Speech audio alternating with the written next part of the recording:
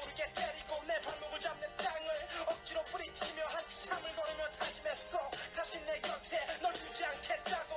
곁에 널 지키기 위해 했던 나의 노력 그 모든 걸 다 오려. 저 달리는 차들 속으로 던지고 눈물 섞인 웃음을 짓고 어떻게든 너보다 잘 살 거라는 믿음. 저 짙은 어둠 속에 새기며 내가 웃는 게 웃는 게 아니야. 또 내가 걷는 게 걷는 게 아니야.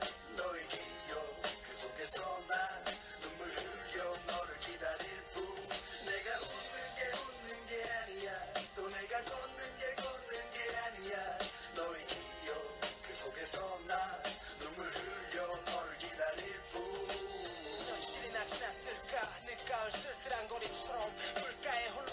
시골처럼 외로움과 기다림에 지친 난 끝없는 줄담배에 기침을 하며 미친 듯이 추억 속으로 빨려 들어가 애교 섞인 목소리에 꺾인 나뭇가지처럼 쓰러져 그녀의 품에 안기고 달콤한 꿈에 부풀어 영원히